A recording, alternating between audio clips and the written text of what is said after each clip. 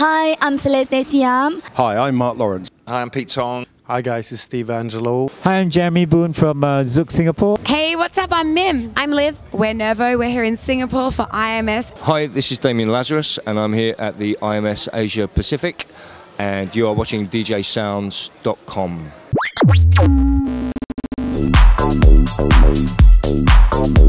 DJ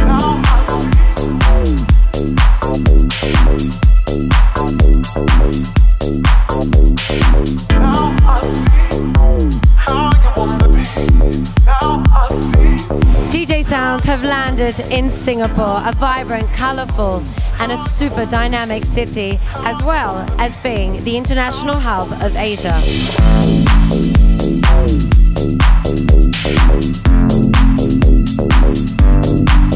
And it's for these very reasons that the International Music Summit founders, Pete Tong, Danny Whittle, Mark Netto, Simeon Friend, and Ben Turner, chose this dynamic and forward thinking city to host the very first IMS Asia Pacific. The International Music Summit was born in Ibiza seven years ago. She has since taken up residency in LA with IMS Engage and now has launched upon yet another continent, bringing for the first time ever a conference of its kind to Asia.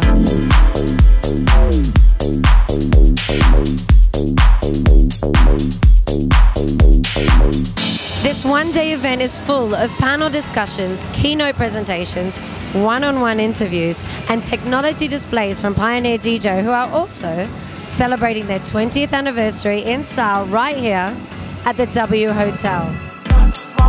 There are pre and post IMS parties at Attica Nightclub, and of course, the IMS team have timed it perfectly, teaming up with Zouk Out, the biggest outdoor festival of its kind in Asia.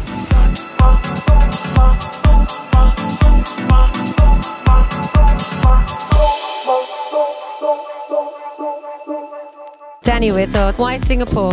You know, we looked at other places. I mean, we initially thought of Australia, but then we just thought it would be too Australian centric. Uh, we looked at Hong Kong, and we just thought it was kind of too much, too too busy. I, I don't. I, we just thought Singapore just looked fresh, and obviously we have the Zouk Festival, Zouk Out Festival, and we've always sort of tagged IMS onto something where we know there's going to be a lot of industry people there, which helps with regards to putting panels together and so on.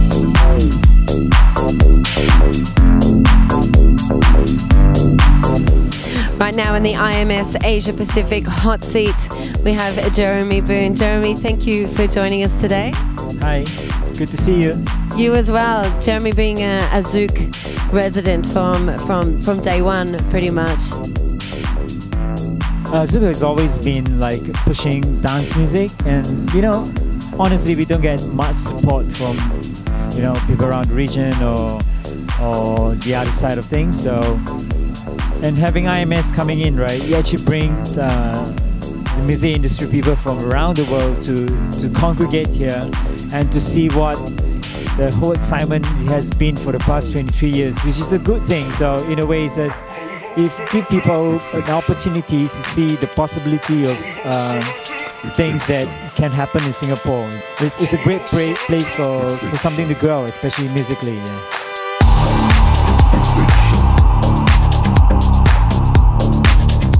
Sat next to me now is the number one female DJ in Asia, here from Bangkok. It's Celeste Siam. Celeste, welcome to IMS Asia Pacific, and thanks for chatting to us here on DJ Sound.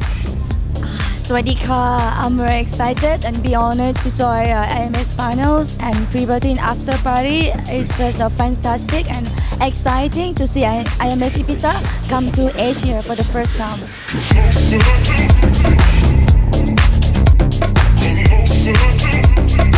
Uh, you played the pre-party uh, last night with Pete Tong at Attica, and you're also playing the uh, the after party uh, with Paul Oakenfold. What what have you what did you enjoy about playing the, the party last night? Um, actually, it's my first time to play in Attica, and I love the place. And we have two two songs, like different kind of music. People there was night crowd, and I was excited to play for Beaton and Paul Oakenfold. I think it's one of the great party. So you had a fun night, yeah? Yeah, have a great night, and yeah, my voice is a bit low. That means we've been through a good party.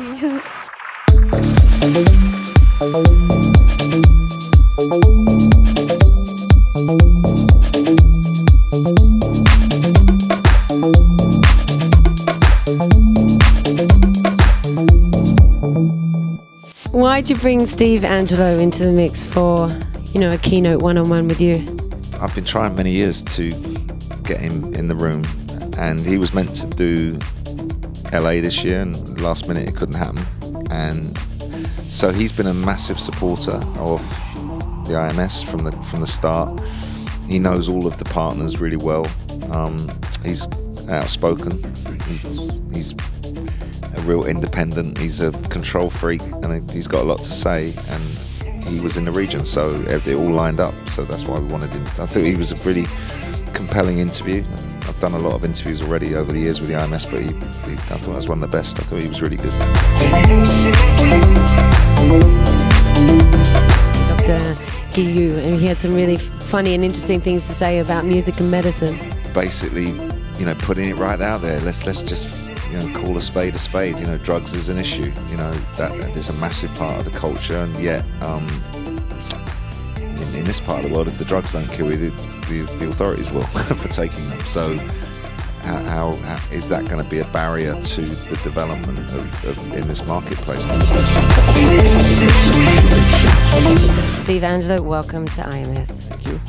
How are you feeling? I feel great. Why do you think that they've asked you to be a part of of IMS here in, in Singapore? You know, we've been talking a little bit. They like that I have a different sense of what's going on as well. You know, um, a lot of people are artists, but I'm also a promoter and I'm an owner of a record label and I'm A&Ring and I'm doing management and everything else. So um, they can go pretty wide, which I think uh, they appreciate.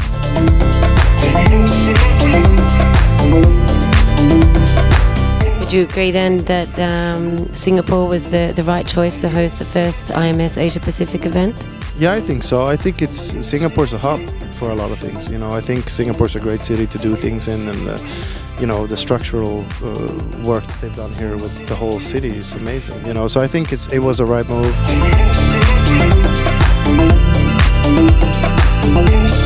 East versus West. Why do you think that they invited you to be on that panel?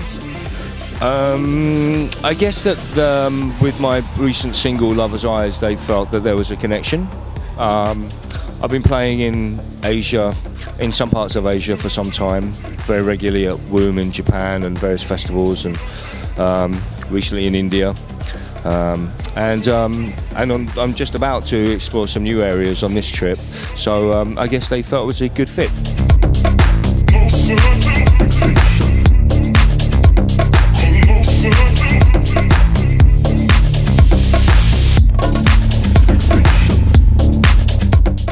Kuvo officially launched two months ago. Um, what has been the reception since then, since it launched at ADE?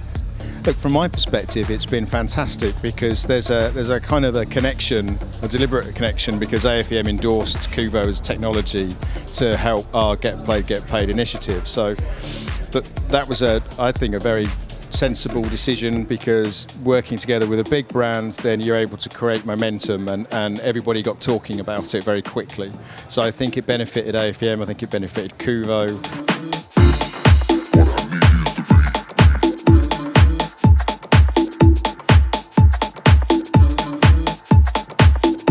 Here I am now with Lincoln Cheng, who is the owner and founder of Zouk and Zouk Out Festival, and he was here today for a, a keynote interview with Paul Oakenfold. Lincoln, absolute pleasure to have you here with us on DJ Sounds. How are you? A pleasure to be here. It's the first time IMS come to Asia.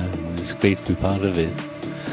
So when did they speak? When did the founders first approach you about uh, doing something here in Singapore? It was about six months ago. It was a pretty rush job actually to organize all this partly Zouk is uh, always does the pioneering, um, music or lifestyle.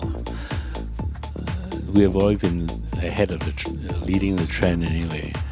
Um, and also, the very important part of IMS is having Zouk out right after it.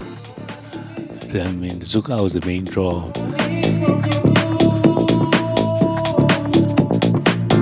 Paul Oakenfold, your relationship with him. He was one of the first globe-trotting DJs of his of his generation, let's say, and he's spent a lot of time in Asia.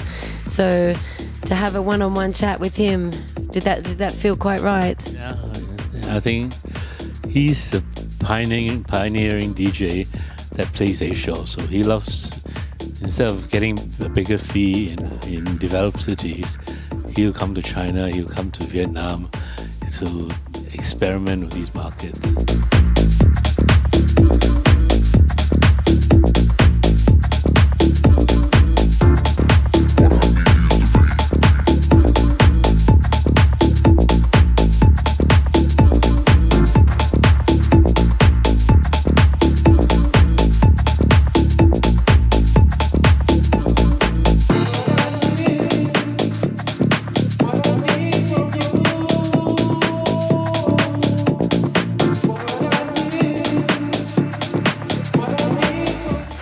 You, Ben? Great. I'm very relieved it's all over.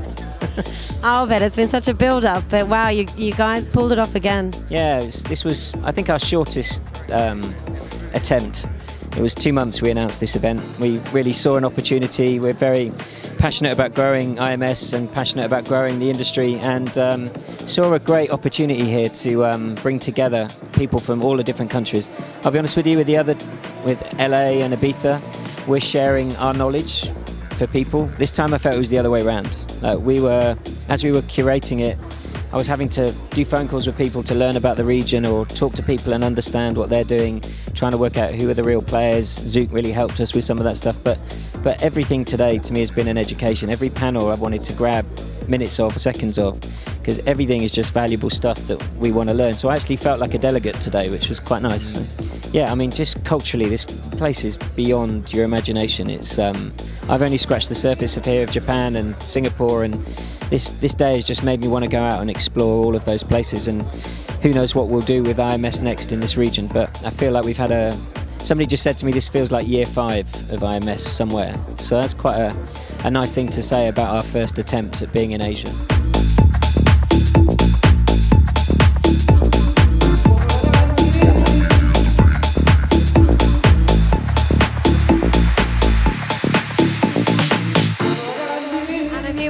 Here you from Pioneer DJ, who's been another massive part of the summit and since it started. Hideki, um, uh, it's quite noisy now. It's a party time, but I think Pioneer likes to party as well. Yeah, Pioneer DJ loves the party. It's always in the middle of the scene. Yeah, we're really happy to be um, at the uh, beginning of the um, you know, IMS in Asia, and also um, be sp- as a speaker inside. So maybe you could tell us a little bit about the panel today. It was get played, get paid. Yes, um, we originally planned for the um, Kuvo to be kind of discover the music and discover the um, DJ, discover the club. But when we um, we were talking with Ben and Richie, the Kuvo can contribute to another another way. So we started to talking with each other and how we can um, you know kind of cooperate with each other, and then we finally came up with some kind of great ideas. Um, just we having um, many um, inquiries regarding the Kuvo boxes. So all around the world we get um, people who wants to install the Kuvo inside, and also we currently have about 60 or 160,000 DJs applied, and also many um, you know tracks being played inside Kuvo. So we're really happy with the result.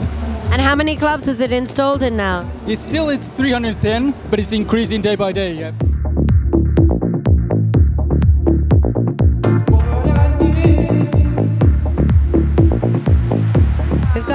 Got Mim. Girls, it's been a great day. It's great to have you here in Singapore as part of the very first Asia Pacific IMS. Hello. Hello. Hello, it's spreading. It's now in Asia.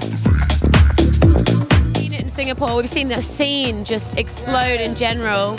And it's amazing to see the turn up here. You know, tonight's party was crazy. The the uh, seminars have been really well received. Loads of people, loads of questions. What do you feel that you guys brought to, to today's discussion? Well, you know, there were a few. There was Damian Lazarus and, and us. We were the artists on the panel, and um, we just spoke about our experiences. And our experiences have been that you know major Western uh, Festivals. festivals ha- have Like now- Ultra. yeah, have moved out to Asia. So um, it's just great to see it explode and and um, It's a very uh, relevant place here. Like people want to grasp onto uh, and like submerge themselves in all of this music.